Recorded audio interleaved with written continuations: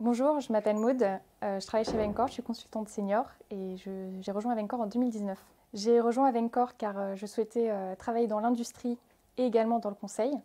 Avencor offre cette double casquette hein, de conseil en compétitivité industrielle et j'ai choisi également de rejoindre Avencor pour sa taille raisonnable qui permet une bonne collaboration au sein de l'équipe et de proposer de nombreuses initiatives dans le quotidien. Être consultant chez Avencor, c'est stimulant, c'est formateur et c'est fun pour reprendre une de nos devises qui est euh, Serious but Fun.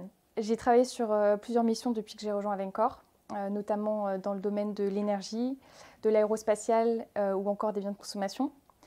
J'ai notamment travaillé sur le challenge, l'optimisation et la sécurisation du planning d'un grand projet. J'ai également travaillé en tant que catalyseur dans le pilotage d'un projet complexe en appui euh, au chef de projet. Si je devais citer un dernier exemple, euh, ce serait euh, l'amélioration des processus de logistique et de production d'une ETI dans les biens de consommation.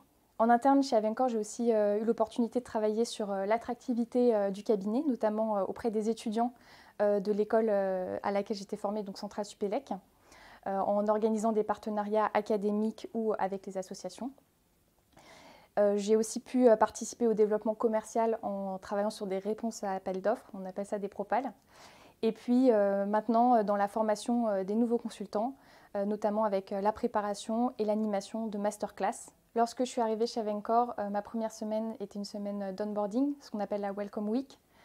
J'ai rencontré mon mentor, qui est un consultant un peu plus expérimenté d'Avencor. Au cours de cette semaine, on rencontre un certain nombre de personnes de l'équipe qui également nous présentent ce sur quoi elle travaille chez Avencor. C'est très enrichissant euh, pour cette première semaine de se faire le, paysage euh, des missions et activités d'Avencor.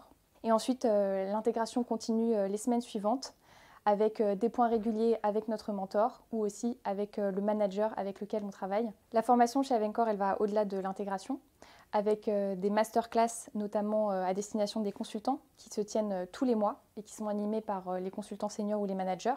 En complément de ces formations, il y a également des formations euh, spécifiques qui peuvent être euh, pour le besoin d'un projet ou alors en fonction du grade.